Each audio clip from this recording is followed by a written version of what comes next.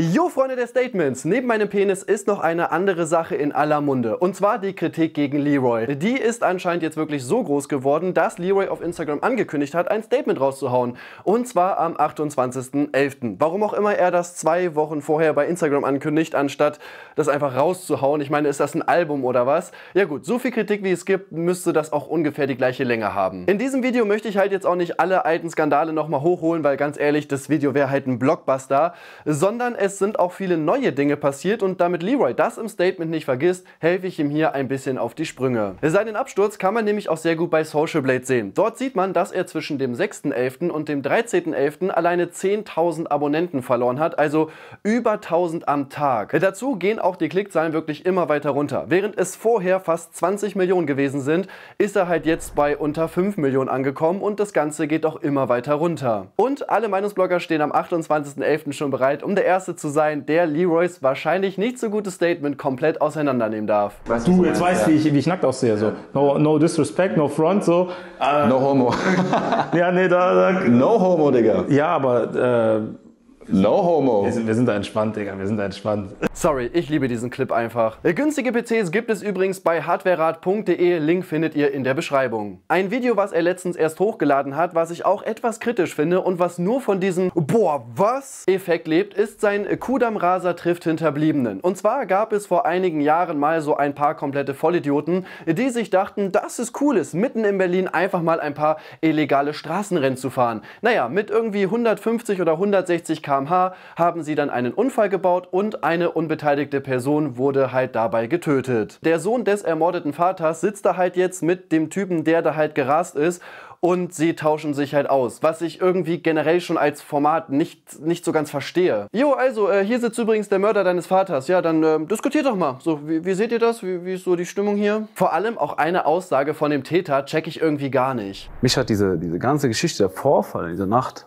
hat mich genauso mitgenommen weil ich auch erst gar nicht wusste, was passiert ist. Ja klar, also du hast deinen Vater verloren, eine geliebte Person, die du nie wiedersehen wirst. Aber mich hat das Ganze genauso mitgenommen, das kannst du mir glauben. In den Kommentaren gibt es dazu auch sehr viel Kritik gegen den Raser. Gut, da kann jetzt Leroy natürlich nicht allzu viel dafür, wie der sich da gegeben hat, aber den Sinn von dem Video check ich trotzdem nicht so ganz. Ein weiteres kritisches Video, was Leroy aber tatsächlich mal gelöscht hat, wahrscheinlich aber nicht, weil er die Kritik angenommen hat, sondern weil es wahrscheinlich im Hintergrund Ärger gegeben hat, ist sein zu vieler trifft Tierschützer Video. Glücklicherweise haben sowohl Imp als auch Just Nero Videos dazu gemacht. Das heißt, ich kann mir deren Clips jetzt einfach zusammen klauen. Swiper nicht klauen! Swiper nicht klauen! Swiper nicht klauen!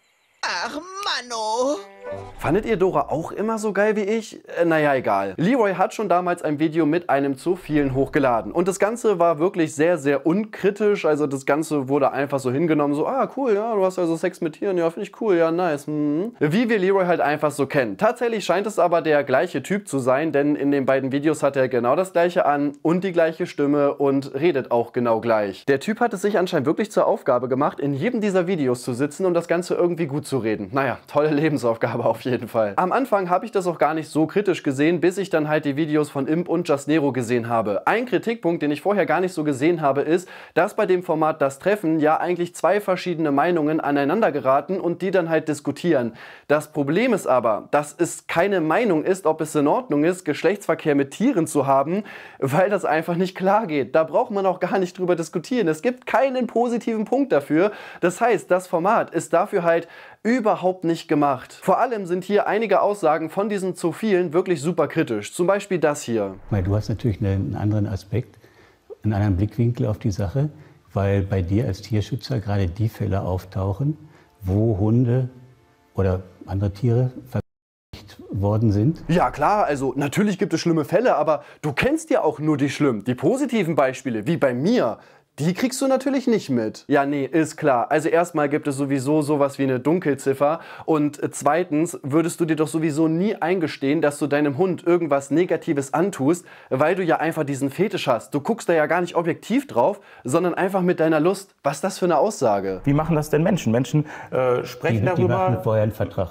Nee, Menschen machen keine, keine Verträge. Nein, Michael, Menschen machen keinen Vertrag vorher. Aber Menschen können vernünftig miteinander kommunizieren und halt absprechen, was sie in Ordnung finden und was nicht. Was du bei einem Hund nicht machen kannst und wo man auch davon ausgehen kann, dass du das, was dir dein Hund sagen möchte, auch nicht richtig interpretierst. Anstatt vernünftig auf die Punkte einzugehen, versucht Michael die ganze Zeit, das irgendwie ins Lächerliche zu ziehen, um das Ganze irgendwie zu verteidigen. Also das kann man sich wirklich nicht angucken. Eine Sache, die Imp noch kritisiert hat, die sonst irgendwie keiner gesehen hat, war dieser Ausschnitt hier. Den Moment, dass, dass Tiere das irgendwie äußern, auch irgendwie unkontrolliert, das äh, kenne ich selber und das kennen sicher auch Hundehalter selber, dass das Leroy kennt das, wenn Tiere sich unkontrolliert sexuell äußern? Ah ja, gut. Also ich denke einfach mal, dass er sich hier nicht ganz richtig ausgedrückt hat. Wie gesagt, ist das wenigstens eins von ungefähr 50 kritischen Videos, die Leroy am Ende tatsächlich offline genommen hat. Warum er das getan hat, wissen wir nicht. Vielleicht erzählt er uns das ja im Statement. Was mir ebenfalls bei Leroy nicht aufgefallen ist, das hat Imp auch in seinem Video gezeigt, sind zum Beispiel solche komischen Anfangsfragen hier. Du bist jetzt mit 30 Jahren Prostituierte. Ja.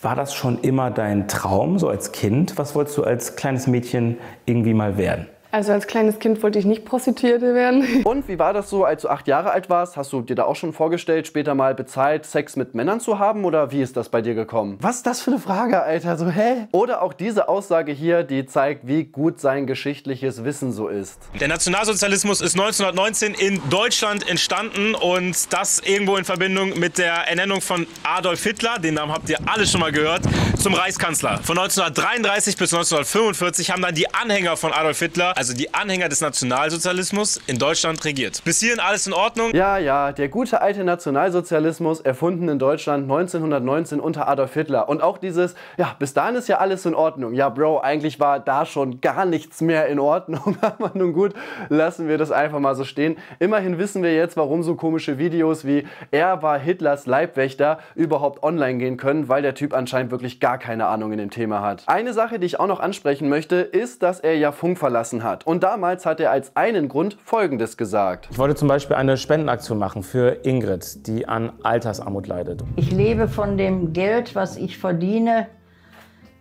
Wenn ich meine zwei Tage um habe, dann kriege ich immer Nachdem auch das jetzt monatelang kritisiert worden ist, hat er tatsächlich ein neues Video mit dieser Frau hochgeladen und hat da tatsächlich auch Spenden gesammelt. Und dort sind auch bisher knapp 6000 Euro zusammengekommen. Was ich bei Leroy aber nicht verstehe, und das habe ich ja schon damals kritisiert, er hat noch einen sehr gut laufenden Zweitkanal und auch einen Instagram-Channel. Also die waren die ganze Zeit nicht bei Funk. Das heißt, wenn es ihm so wichtig gewesen wäre, Spenden zu sammeln, dann hätte er das über die Plattformen halt die ganze Zeit machen können. Was ich ebenfalls ein bisschen weird finde, ist die Tatsache, dass er jetzt zwar ein neues Video mit ihr gedreht hat, dort aber auch einfach mit seiner Rolex sitzt, während er sowas sagt wie, oh, es tut mir richtig leid, dass du arm bist, Mann, das ist richtig doof, oder? Wie spät ist es eigentlich? Dazu hättest du ihr ja auch selber etwas von deinem Geld geben können, wenn dir das Ganze so wichtig ist. Also nicht, dass ich das erwarte. Keiner ist gezwungen, jetzt irgendwie einfach jemandem Geld zu schenken, aber er selber hat sich sogar damit profiliert, dass er unter den Top 30 reichsten Deutschen unter 30 ist in der Forbes-Liste und da hätten ihm ein paar tausend Euro wahrscheinlich nicht wehgetan. Und wenn das für dich ein Grund ist, extra Funk zu verlassen, damit du Spenden sammeln kannst, wäre es ja auch kein Problem gewesen, ihr einfach so zu helfen, wenn du keine andere Möglichkeit hast. Das Ganze wirkt halt einfach sehr inszeniert, um irgendwie einen Grund zu haben, um Funk verlassen zu können. Was kann ich abschließend dazu sagen? Fast egal, was Leroy momentan hochlädt, er greift einfach immer daneben. Selbst in so einem belanglosen Video wie Wie ist es Schiedsrichter zu sein, lädt er sich Felix Zweier ein, den wahrscheinlich schlechtesten Schiedsrichter, den man sich für so ein Format hätte raussuchen können, denn der hat schon einige Spiele gegen Geld verpfiffen. Also da wäre quasi jeder andere wahrscheinlich besser dafür geeignet, außer jemanden, der als Schiedsrichter solche Skandale gehabt hat. Ich habe einfach das Gefühl, dass Leroy die Bibi machen wollte. Die ist ja ebenfalls nie auf Kritik eingegangen, hat einfach ihr Ding durchgezogen und bei ihr hat das ja auch die ganze Zeit funktioniert. Sie hat allerdings auch nicht immer so hart daneben gegriffen, wie Leroy das die ganze Zeit tut. Ich bin wirklich gespannt, was das für ein Statement wird. Ich meine, wenn er das Ganze zwei Wochen im Voraus ankündigt, dann muss da ja wirklich was richtig Heftiges kommen und ich hoffe, dass das vernünftig wird. Wobei ich auch irgendwie hoffe, dass es nicht vernünftig wird, weil dann habe ich wieder Content. Egal, was dabei rauskommt, ich werde dazu auf jeden Fall dann nochmal ein Video machen. Wir sehen uns im nächsten Video. Wie seht ihr das Ganze? Schreibt es in die Kommentare. Bis dann. Okay, thanks, bye.